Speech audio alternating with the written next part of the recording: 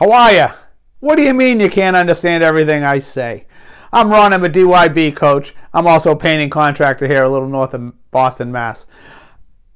Today is not going to be the normal uh, video about something about painting. I just wanted to go over a few words that I may use that you may have no idea what I'm talking about.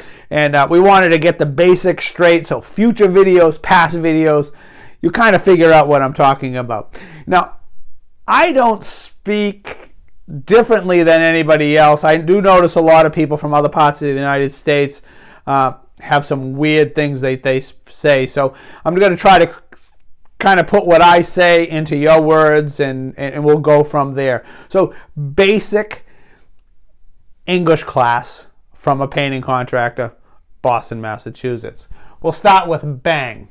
So if we're driving down the street we're going to bang, a turn, bang a Yui, we're actually turning around.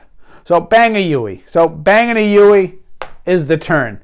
Pretty easy. So you got to bang a Yui. You got to bang a right, got to bang a left. So we're going to go through some basics here, just very, very basics. A bubbler.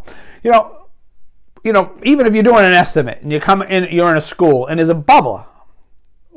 That's a water fountain. We call them bubblers because that's what we call them. So, all right, a hus. So, anyways, you're driving down the street and you might see a couple uh, houses, uh, a house over here, a house over there. So it can mean two things. A house is, depending in the in the wordage you're going to use, it's either a horse, horse, or a house. It's a house.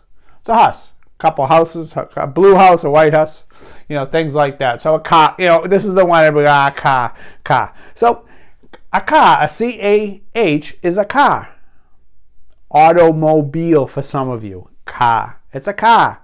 Uh, okay. So, okay, the cellar. So when you're in a house and you're estimating the whole house, so sometimes you got to go to the cellar. That's the basement for some of you. I know, in, in fact, in some of you in Florida don't have cellars. Oh, basements, basements. So we just wanted to get that straight. Okay, the next is dunks.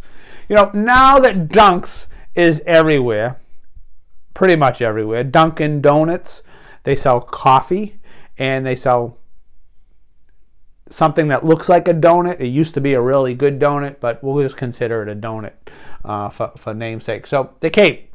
So when you're in, in, in Mass and you're, you're talking about the Cape, you're not talking about something you're putting on. You're taking talking about Cape Cod, Massachusetts.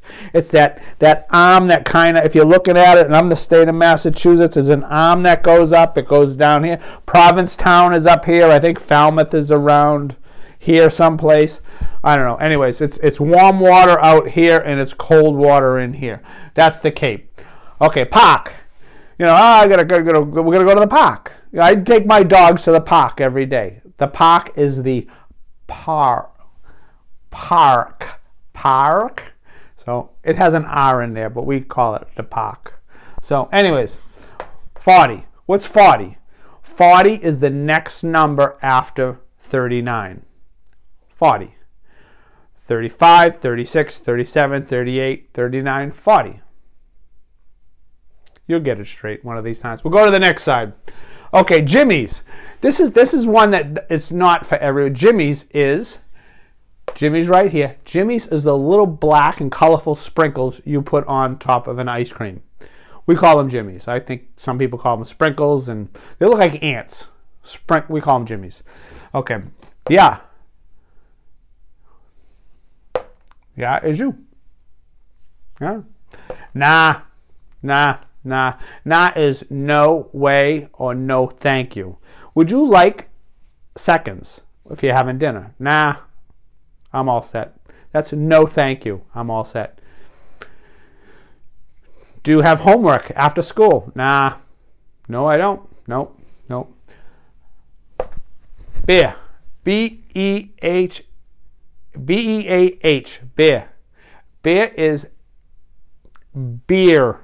Comes from hops and barley. That's a beer. I like beer. I like an IPA. That's a good beer. So, where do we buy our beer? We buy it at the Packy. The Packy is a package store.